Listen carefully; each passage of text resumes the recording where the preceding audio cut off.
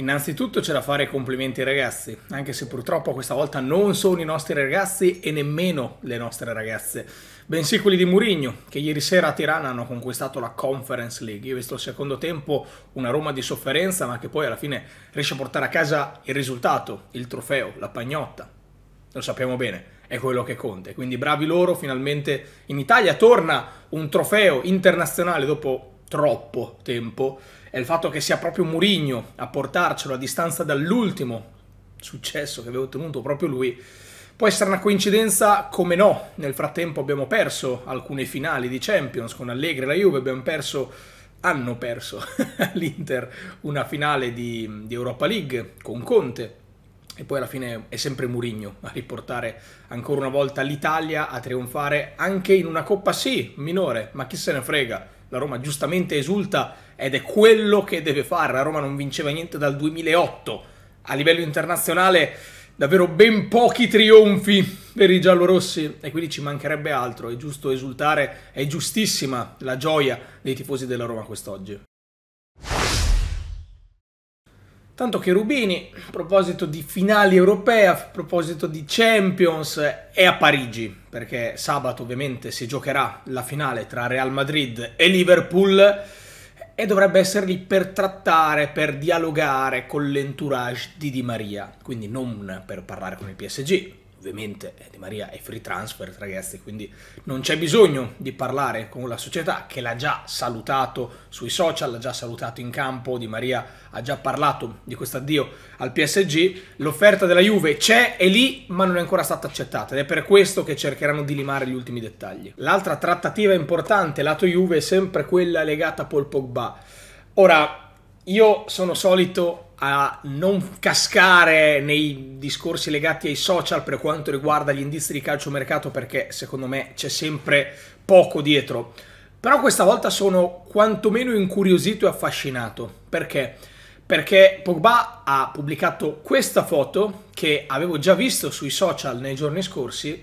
e la descrizione lascia intendere tutto e niente in realtà. Perché c'è scritto tu sai che tempo sta arrivando, tu sai che cosa sta per accadere, qualcosa del genere. E fino a qua non c'è niente di che. Se non fosse che è stato taggato pure il barbiere, il suo barbiere, che ha scattato la foto e che ha eseguito il lavoro, che gli ha fatto venire i capelli bianchi, e che è il barbiere, bene o male, di tutti i calciatori più famosi al mondo, di tutti i più grandi talenti, lo stesso barbiere di Pogba aveva postato questa stessa foto qualche settimana fa scrivendo bianco e nero Pogback Juventus e poi questa foto sul profilo del barbiere era stata eliminata. Pogba ora l'ha ripubblicata ritaggando il barbiere che ha ricommentato in un certo modo. Ora vuol dire niente, eh? rimaniamo sull'idea che non voglia dire niente. Però avrebbe senso del tipo voglio farmi questo taglio, nel mentre che parliamo ti dico che ho avuto questa offerta dalla Juve, che sto cercando di valutare oppure no, il giorno dopo il barbiere se ne frega, posta la foto di Pogba, dando per scontato che il suo ritorno alla Juventus sia ormai cosa fatta, Pogba lo chiama e dice oh, cosa stai facendo, io ti ho detto che c'era l'offerta, ma non che in realtà l'avevo accettata, quindi cancella il post perché potrebbe creare qualche problema, e poi Pogba quella stessa foto la riposta, e quindi magari qualcosa potrebbe dire. Ribadisco, io sono sempre distaccato dal discorso social e calciomercato. Questa però era una storia che andava raccontata. Non vuol dire niente, eh? rimaniamo sul fatto che non voglia dire niente. Però ci tenevo a sottolinearla. Tra l'altro io mi sono abbastanza stancato della situazione e vorrei iniziare a chiudere qualche operazione. E non tanto per Pogba, non tanto per Di Maria, però dall'inizio del calcio, ma neanche l'inizio del calciomercato perché inizia tra un po', tra un mesetto abbondante, da qualche mese a questa parte si parla tanto di mercato lato Juve, si erano fatti i nomi di Zagnolo, che ieri sera ha deciso la finale di conference, di Raspadori, si era fatto il nome di Rudiger, si era fatto il nome di Peresic e questi giocatori sembravano tutti molto vicini o comunque importanti e lo sappiamo che in mezzo alle tante notizie verificate, vere, effettive, ci sono diverse fake news buttate lì o comunque trattative che potevano diventare potenzialmente importanti e che poi si sono arenate. Però ovviamente il modo di fare è sempre quello, dare per vicino, vicinissimo addirittura fatto alcuni giocatori alla Juventus, quando poi in realtà di ufficialità di mercato fino adesso la Juve ce ne sono zero per quanto riguarda le operazioni in entrata. In uscita no, abbiamo già fatto qualcosa, lo sappiamo, Di Bala, Chiellini, Bernardeschi, questi sono i tre ufficiali, poi ce ne sono tanti altri, Pellegrini che hanno chiesto di essere ceduti, infatti che Rubini era andato a informarsi anche in Premier, c'è Arthur che potrebbe essere ceduto e quindi che Rubini è andato a informarsi in Premier, insomma ci sono diversi giocatori che sono su, sul viale dell'uscita, tra l'altro proprio oggi c'è da registrare anche un interesse del Chelsea per Rabiot, sempre lato Premier, quindi insomma magari ci sono delle richieste per i giocatori della Juve,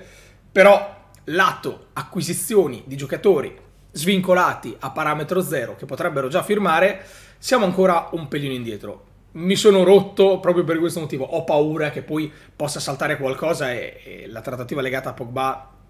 non la vorrei mai vedere saltata, sono sincero. E poi sempre legato al discorso della scuderia Mino Raiola, dato che comunque la Juve sta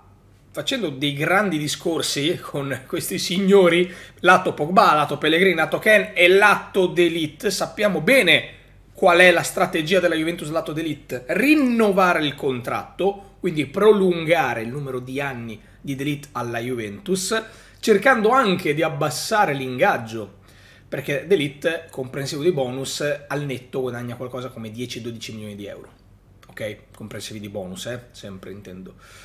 E allora cosa succede? D'Elite sarebbe pure disposto a rinnovare al ribasso, e questa è sicuramente una gran bella notizia, dall'altra parte c'è una notizia un po' meno bella, e cioè che D'Elite avrebbe chiesto in cambio di abbassare la clausola recessoria che in questo momento alla Juventus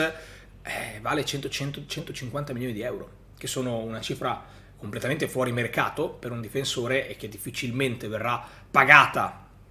spero, davvero spero perché intanto non voglio perdere D'Elite, ma anche se a 150 milioni lo devi vendere per forza, ma dico spero perché se iniziamo a spendere questi soldi per dei difensori centrali, ragazzi, vuol dire che veramente il calcio sta andando in una direzione ancora peggiore rispetto a quella che già c'è e poi mi tocca leggere le, le, difese al PSG da parte di chi dirige la UEFA, la Champions, il fair play finanziario, ma ormai abbiamo capito che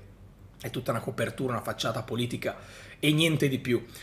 E quindi Delito vorrebbe cercare di abbassare questa clausola perché? Perché si vuole dare la possibilità a un certo punto in carriera di poter andare in un altro club, eventualmente se interessato. Ora,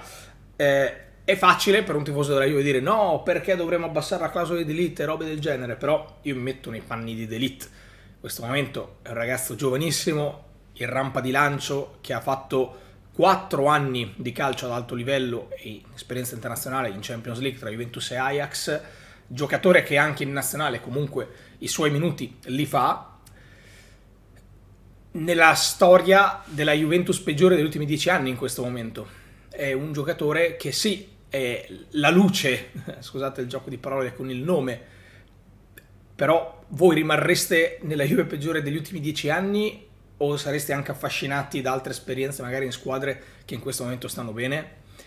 Eh, ragazzi, credo proprio che, che, sia sacrosanta la volontà di Delito, che non significa che se ne andrà o che ha voglia di andarsene, però lasciare una porta aperta una specie di, di pulsante eh, espulsione, no? Eh, tipo in aereo, una specie di paracadute per sfuggire a un certo punto, qualora le cose dovessero ancora di più peggiorare, beh, mh, mm, non lo biasimo per niente, a maggior ragione se la Juve cerca addirittura di abbassarglielo, quell'ingaggio che magari da altre parti andrebbe a guadagnare qualcosina in più, quindi ci sta. Tra l'altro c'è da registrare un altro interessamento anche qua del Chelsea, Chelsea che ad oggi al mercato bloccato per via di tutte le cose inerenti a Roman Abramovic, ma che a breve dovrebbe cambiare proprietà e che quindi potrebbe poi operare lato mercato. Quindi attenzione perché il Chelsea starebbe buttando un occhio casa Juve tra Rabiot ed Elite. Ovviamente la mia speranza è che possa essere molto più lato Francia piuttosto che lato Olanda, ecco questo lo dico con grande chiarezza. E sempre lato social, ribadisco come dicevo prima, non fidiamoci delle notizie vere e proprie, però Alvaro Morata ha postato diverse foto con la famiglia, con la moglie, con i bambini, tutti in bianco e nero, e c'è una particolare foto in bianco e nero che mi ha dato un po' di nostalgia, mi sembra la classica foto dell'addio, quindi eh, a sensazione, eh, perché non sono notizie di calcio mercato, ma quello mi è sembrato abbastanza un post in cui tra le righe si voleva annunciare una permanenza a Torino sempre più improbabile nella prossima stagione e per salutare quella che è stata casa sua per ben quattro stagioni, anche se non continuative, però Alvaro qua è diventato uomo, Alvaro qua è diventato un giocatore importante, ha conosciuto quella che è stata sua moglie, i suoi figli sono nati in giro comunque per Torino, per il mondo, ma anche per Torino, quindi sicuramente un posto che gli è rimasto nel cuore, come dicevo anche ieri, io non credo che Alvaro verrà riscattato a quella cifra, non penso nemmeno che in questo momento l'Atletico abbia voglia di scendere da quella cifra pattuita, quindi verosimilmente Morata potrebbe tornare all'Atletico, poi mi immagino magari durante l'estate la Juventus che proverà comunque a strappare qualcos'altro, quindi eh, un altro prezzo al ribasso magari qualora ci fosse impossibilità da parte dell'Atletico a cedere il calciatore in altre parti, in altre squadre, non lo so, però in questo momento quel post lì mi ha fatto pensare a un arrivederci Juve, grazie di tutto, sono, siamo Juventini, ma il nostro tempo qua è finito. Poi sempre la mia interpretazione, voglio sapere anche la vostra. E queste sono un po' di notizie, attenzione perché ogni giorno inizia a venire fuori qualcosina di diverso, eh? e iniziamo a entrare in quel periodo storico ovviamente in cui il calciomercato sta iniziando e che quindi tra tutte le chiacchiere qualcosina di vero lo andremo a trovare. Bisogna solo capire che cosa è vero e che cosa è falso in mezzo alla marea di notizie che vengono ogni giorno buttate in pasta ai social e in pasta ai media.